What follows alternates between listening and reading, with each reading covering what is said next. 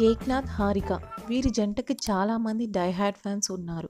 ETV plus Nenu Shailaja serial ద్వారా చాలా క్రేజ్ని సొంతం చేసుకున్నారు ఏక్ రియల్ లైఫ్లో కూడా వీరిద్దరూ ఒకటవ్వాలని ఫ్యాన్స్ చాలా ఈగర్గా వెయిట్ చేశారు. వీరిద్దరూ ఎప్పటికప్పుడు తమ పిక్స్ని సోషల్ మీడియాలో షేర్ చేస్తున్నప్పటికీ అఫీషియల్గా వాళ్ళ ప్రేమ విషయం ఎక్కడా కన్ఫర్మ్ చేయలేదు. ఏక్నాథ్ కొన్నిసార్లు లైవ్ వీడియోస్లో ఇండైరెక్ట్గా చెప్పాడు. అయితే ఇప్పుడు వీరిద్దరి ఎంగేజ్మెంట్ పిక్స్ అండ్ వీడియోస్ ఇప్పుడు బయటకు వచ్చాయి హారిక కూడా తన సోషల్ మీడియాలో ఏక్నాథ్తో ఎంగేజ్మెంట్ అయినట్టు కన్ఫర్మ్ చేసింది.